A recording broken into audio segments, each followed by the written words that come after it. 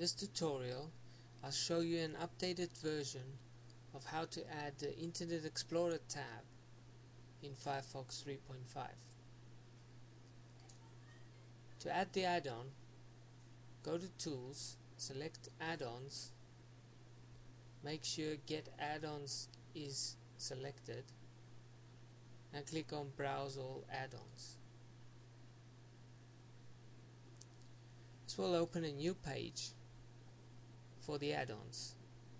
You need to search for the add-ons, write IE tab and hit enter.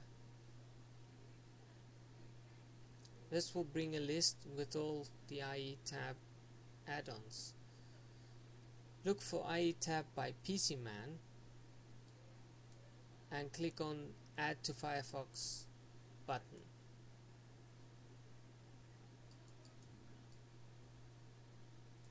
Click on install now.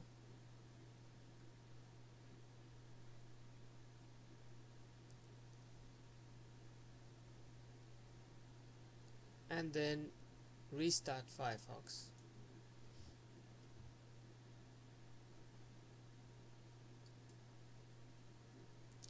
To add it on the toolbar, right click on the toolbar, select Customize, scroll down until you find the IE tab icon and drag and drop it on the toolbar.